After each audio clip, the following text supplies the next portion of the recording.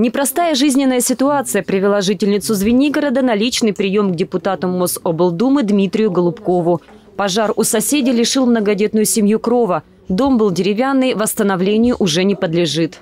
Он барачного типа, разделен на четыре части. Мы в 2006 году приватизировали э, две квартиры, две квартиры муниципалитета. Вот. И когда произошел пожар, горел весь дом, горела над нами крыша.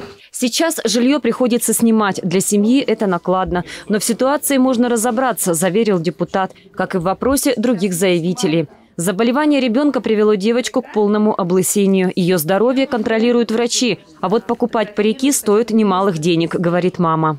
Сначала покупали парик 30 тысяч, потом в следующем уже 60. Теперь все ушли, производители. Теперь только русские волосы, они более дорогие. Соответственно, стало все намного дороже. Ну, а там, в принципе, комплексов э, работают психологи в центре комплексов таких нет, уже спокойно к этому относится. Девочка занимается гимнастикой и ведет активный образ жизни. Лично ей депутат дал позитивный совет.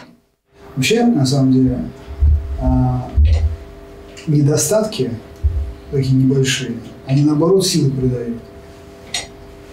И наоборот, они как бы а, дают различительную а, особенность от остальных – это, это твоя сила.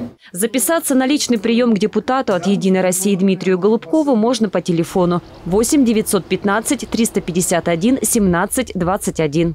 Полина Бахова, Станислав Трифонов, телекомпания «Одинцова».